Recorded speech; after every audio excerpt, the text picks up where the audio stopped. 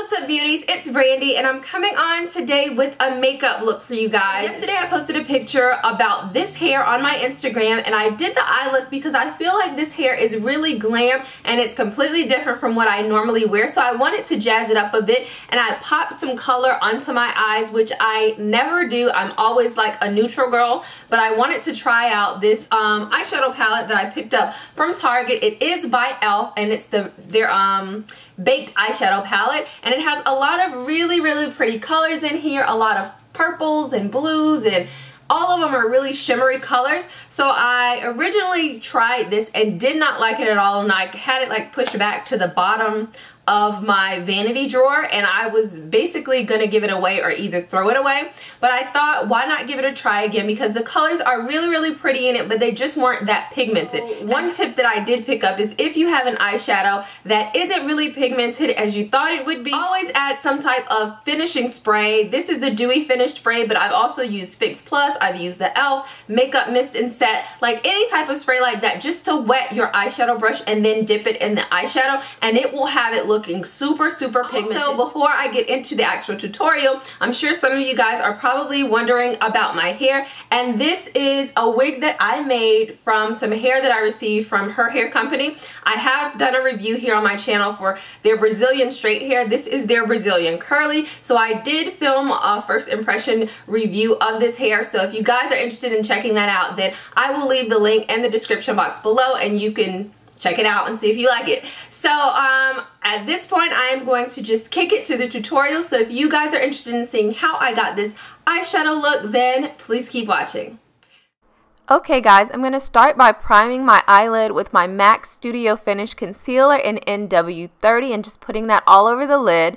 Then I'm following up with my NYX Jumbo Eye Pencil in the color black and putting that down and then blending that in with a brush that I have from e.l.f. This is just going to make the eyeshadow pop a little bit more and look even more pigmented and bright.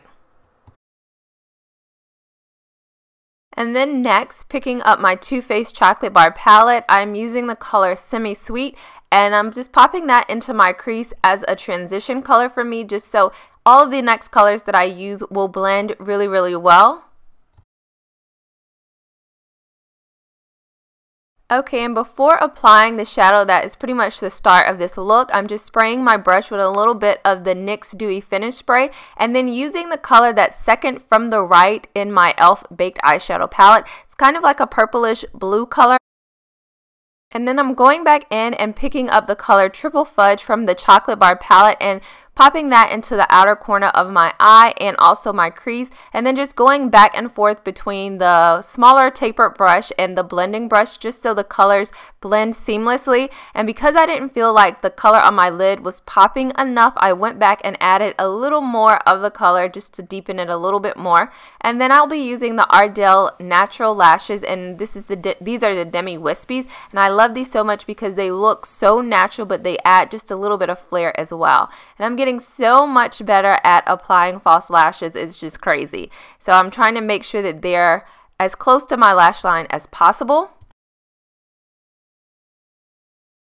Okay, and to brighten up underneath my brow bone, I am popping in the Jaclyn Hill highlighter in Champagne Pop, and then also applying that to the inner tear duct of my eyes just to brighten the look up a bit and open my eyes more. And then underneath my lower lash line, I am including the baked eyeshadow color that I put on my lid and also including the triple fudge color just to deepen it a little bit more that I use from the chocolate bar palette. I'm going to also blend those colors together just so it looks a little bit smoky and not so, you know, dark and deep.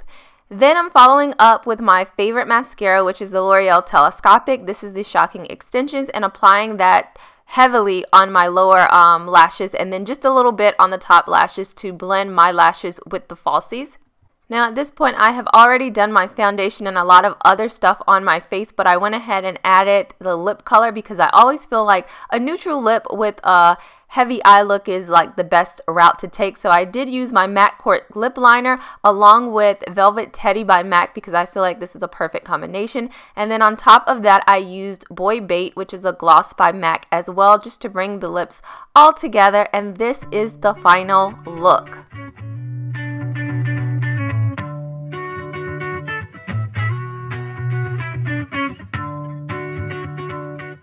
Okay guys, so that is the end of this tutorial. Hopefully you enjoyed it. This was really, really nice for my first time doing a nice smoky eye look that actually included color. Guys like these types of videos, make sure you always give it a thumbs up because it does help me out. And if you have any suggestions of other makeup videos that you are interested in me filming, then always leave those in the comment section below. And if you are not a subscriber, then go ahead and click that subscribe button and join the family. And until next time, I will see you guys later.